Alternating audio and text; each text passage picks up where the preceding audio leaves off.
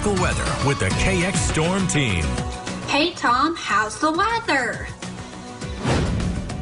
Well, you know what? The weather is going to warm up a lot, Jordan, and thank you for doing that. Hey, Tom, but it is going to warm up. It's also really dry. Uh, Dave Holder told you just a few minutes ago about the low humidities. Well, we still have the fire weather warning, the red flag warning, until 7 o'clock tonight. And then we also have the uh, wind, uh, wind advisory until 7 o'clock tonight. And the wind as it gets closer to sunrise, uh, the atmosphere, is, the technical term is decouple, uh, but it's going to really uh, have to see these wind speeds drop off considerably. But it's blowing pretty good right now. 59 degrees uh, in Bismarck, which is down. I know I saw a 60 degree reading a little bit ago. Northwest wind at 25.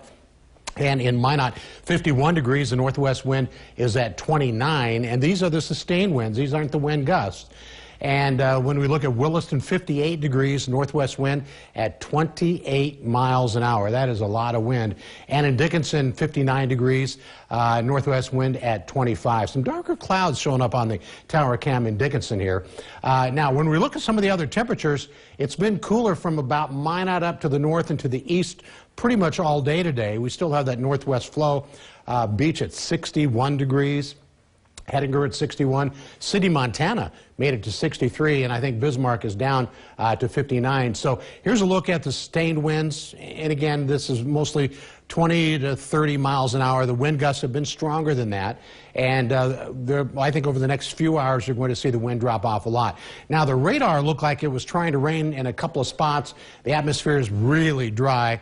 Uh, chances are most, if not all, that never reach the ground. Some of this might be reaching the ground over to the east, but again, it's going to be very, very light.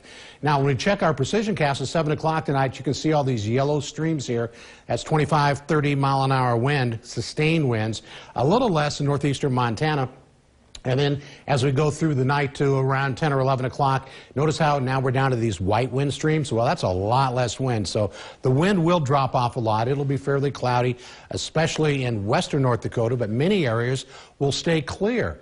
And then by tomorrow morning, it looks like, uh, at least according to this model, it's going to try to bring in maybe a couple of wet snowflakes. This is not going to be a big, uh, a big issue, weather maker or anything like that. Just that it is possible, so don't be surprised if you wake up is trying, if you wake up early and is trying to maybe have some little bit of rain, maybe some wet snow. And then throughout the day, here we are by 12 noon, and this is just tomorrow. So we're going to see the wind kick around to the west most areas. Some places will still be out of the south. And you can see by the colors there, it's going to warm up, or the winds are going to pick up speed at least a little bit.